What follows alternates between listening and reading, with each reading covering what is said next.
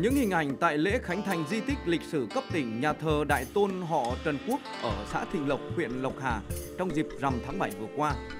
Trong không khí trang trọng, phấn khởi, con cháu dòng họ Trần Quốc bày tỏ niềm tưởng nhớ tri ân Đức Thủy Tổ, quận công Trần Voi và tướng quân Trần Trung Ái. Cách đây 600 năm, ông Trần Voi khi đó được biết đến là người học hành tài giỏi, được triều đình trọng dụng, mời ra làm việc và phong làm quận công. Sau khi được nhà vua cho về an trí tại quê nhà, ông đã vận động, khuyến khích nhân dân khai khẩn đất đai, trồng trọt, lập nên làng Yên Điềm, xã Thịnh Lộc ngày nay. Do có nhiều công lao với dân với nước, sau khi ông mất, nhân dân đã lập đền thờ. Nối tiếp truyền thống dòng họ, đến đời thứ sáu có vị Trần Trung Ái với tố chất thông minh, tài thao lược đã tham gia quân đội của triều đình và lập nhiều chiến công xuất sắc, đã được nhà vua phong làm tướng quân. Năm 1925, cả hai vị danh nhân họ Trần Quốc đã được Đức vua Khải Định phong sắc. Vinh dự hơn cho dòng họ Trần Quốc là năm 2016, nhà thờ Trần Voi, Trần Trung Ái được Ủy ban Nhân dân tỉnh công nhận là di tích lịch sử văn hóa cấp tỉnh.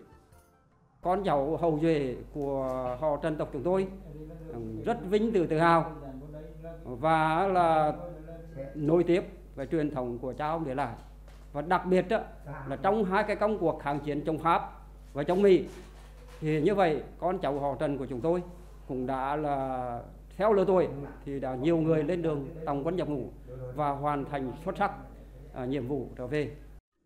Xuất phát từ niềm tự hào đó, con cháu trong dòng họ Trần Quốc đã quyết định góp công, góp của trùng tu tôn tạo di tích. Bởi di tích nhà thờ Trần Voi, Trần Trung Ái đã xuống cấp nghiêm trọng. Sau 5 năm huy động, con cháu trong dòng họ đã đóng góp và xây dựng nhà thờ mới khang trang với tổng trị giá 3 tỷ đồng. Với kiểu dáng thiết kế và xây dựng mang đặc trưng của các công trình nhà thờ họ ở Hà Tĩnh, tất cả được tính toán khoa học, vừa thể hiện được tính tôn nghiêm của nơi tế tự, vừa phù hợp với điều kiện khí hậu miền Trung trên cơ sở tôn trọng những dấu tích lịch sử. Tại nhà thờ còn lưu giữ nhiều hiện vật cổ quý hiếm như mũ quan, giáo mác của các vị tiền nhân. Ban đầu thì chúng tôi nghĩ là mình xây từng bước một nhưng với cái tinh thần là uh, đoàn kết và kêu gọi con cháu đông lòng ủng hộ vì cống hiến thì uh, qua một thời gian là một năm xây dựng là chúng tôi đã, đã hoàn thành được như thế này. Còn đây là di tích lịch sử văn hóa cấp tỉnh, đền Chiêu Trưng Đại Vương Lê Khôi hay còn gọi là đền Võ Mục ở xã Quang Vĩnh, huyện Đức Thọ. Đền được xây dựng vào những năm 70 của thế kỷ 19 với hai tòa thượng và hạ điện theo lối kiến trúc hình chữ nhị và cổng tam quan. Trải qua nhiều biến cố của lịch sử, sự khắc nghiệt của thời tiết và tan phá của chiến tranh, nên nhà thượng điện bị sập đổ, hạ điện bị hư hại nặng. Chỉ còn cổng tam quan còn khá nguyên vẹn và lưu giữ được nhiều họa tiết nghệ thuật độc đáo. Tôi thì năm nay thờ đền ờ, 25 năm rồi. Thì do cái đền đi đầu tiên thì ờ, chỉ có hai cái nhà thôi. Trong nhà trong và nhà ngoài. Thì nhà trong là tường Phật là đầy đủ đủ cả cái bán bệ, đền là cổ kính. Thì sau cái thời gian mà tôi ờ, đi bộ đội xong rồi tôi về kho làm đồ, bom đạn thì đến tán hoang. Chỉ còn một cái nhà ngoài cùng này á, thì còn một cái gian dựa là trồng đoàn sụp xuống, là bị cùng gió là bom bí bom bí đánh sát ở đây. Để đáp ứng nhu cầu tín ngưỡng của nhân dân từ năm 2010 đến nay, xã Quang Vĩnh đã huy động từ nguồn xã hội hóa của con em xa quê cùng các mạnh thường quân đóng góp gần 3 tỷ đồng để trùng tu, xây dựng mới thượng điện, hạ điện, tường rào, tôn tạo cổng tam quan. Đến nay đền Chiêu Trưng Đại Vương Lê Khôi ở xã Quang Vĩnh đã cơ bản được hoàn thiện. Là một trong năm ngôi đền thiêng thờ danh tướng Lê Khôi trên đất Hà Tĩnh được du khách thập phương trong cả nước biết tới. Vận động nhân dân vừa góp sức tiền của nhưng đồng thời ý tưởng cho đến là, là kế hoạch rồi là đồng viên là con em xa quê cùng người dân ở địa phương này là thấm được cái chủ trương của đảng và nhà nước là khôi phục các cái di tích lịch sử văn hóa. Theo số liệu từ ngành văn hóa, thể thao và du lịch, Hà Tĩnh hiện có trên 1.800 di tích đã được kiểm đếm.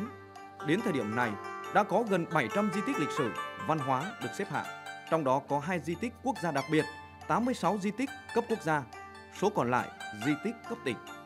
Trải qua những thăng trầm của lịch sử, liên tục bị thiên tai, chiến tranh tàn phá, nhiều di sản bị mất mát, hư hỏng chỉ còn là phế tích.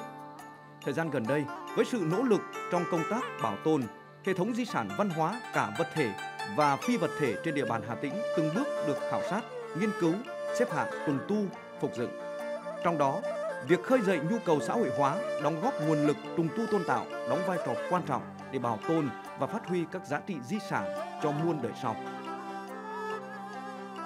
Câu chuyện về di tích lịch sử văn hóa đền Đông Hải, xã Xuân Liên là một ví dụ. Theo truyền thuyết, vào một buổi sáng, ngoài biển trôi giạt vào bãi cát làng Cam Lâm một bộ xương cá voi hay còn gọi là cá ông. Người dân trong làng thấy điều linh thiêng bèn đưa về đặt trong đền làng. Và mỗi khi ra khơi vào lồng đều đến làm lễ cầu xin trời yên biển lặng, tôm cá đầy khoang. Từ đó đời sống cư dân ngày càng thịnh vượng. Về sau người dân trong làng xin lập đền để thờ vị ngư thần gọi là đền Đông Hải và hiệu của vị thần Đông Hải gắn với lễ hội cầu ngư vào ngày rằm tháng riêng được người dân dành nhiều nghi thức trọng thể. Năm 2018, đền được công nhận là di tích lịch sử văn hóa cấp tỉnh. Và đến đầu năm 2024, lễ hội cầu ngư làng Cam Lâm được công nhận là di sản văn hóa quốc gia, càng tạo thêm nhiều động lực cho người dân nơi đây nỗ lực bảo tồn, gìn giữ các giá trị di sản quê hương. Với 150 triệu đồng từ nguồn hỗ trợ chống xuống cấp của tỉnh và đặc biệt là việc huy động nguồn xã hội hóa lên tới gần 6 tỷ đồng của các mạnh thường quân và nhân dân công đức. Công tác trùng tu tôn tạo đã có nhiều kết quả tích cực. Tôi thì luôn luôn tâm niệm thế này, cũng hay nói với mọi người á, là mình đi thì có rất nhiều nơi để đi, nhưng về thì chỉ có một nơi để về thôi. Cho nên từ cái tâm niệm như thế thì tôi luôn luôn đau đầu là tất cả những cái gì tôi đi xa tôi học hỏi được và tôi biết được tôi có được thì tôi luôn luôn muốn dành cho quê hương. 10 năm qua thì huyện Nghi Xuân đã huy động cái nguồn xã hội hóa cho cái việc đầu tư tôn tạo bảo tồn các di tích trên địa bàn với tổng nguồn lực khoảng sắp xỉ 300 tỷ đồng có tầm lòng để đầu tư tôn tạo di tích này từ đó làm à, giàu lên cái truyền thống của văn hóa người Xuân và phát huy được cái, cái giá trị của các di tích trên địa bàn. Hiện nay mỗi năm Hà Tĩnh trích ngân sách khoảng 10 tỷ đồng dành cho công tác bảo tồn, trùng tu, tôn tạo di tích lịch sử, văn hóa trên địa bàn. Thế nhưng trước số lượng di tích cần được bảo vệ rất lớn thì xã hội hóa được xem là giải pháp tối ưu để giữ gìn và phát huy giá trị các di tích. Từ nguồn kích cầu của ngân sách, trung bình mỗi năm trên địa bàn Hà Tĩnh huy động nguồn xã hội hóa được khoảng 70 tỷ đồng từ các địa phương, dòng họ cá nhân để phục vụ cho việc trùng tu tôn tạo, bảo vệ di tích. Nhờ đó đã có rất nhiều di tích từ nguy cơ trở thành phế tích đã được khôi phục, góp phần bảo tồn và phát huy các giá trị lịch sử, văn hóa quê hương đất nước. Từ nguồn à, trồng xuống cấp của tỉnh thì đã có rất nhiều di tích đã huy động được cái số lượng kinh phí sản hóa rất lớn. Điển hình như tại đền Cảng Hồng Lĩnh hay là chùa Ám của Đức Thọ hay là một di tích khác thì thông qua cái việc trùng tu tôn tạo này thì rất nhiều di tích của Hà Tĩnh đã được khôi phục.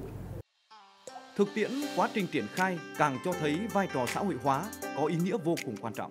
Quá trình sử dụng nguồn lực hiệu quả, tuân thủ theo các quy định của pháp luật, công khai minh bạch sẽ tạo nên niềm tin trong quần chúng nhân dân.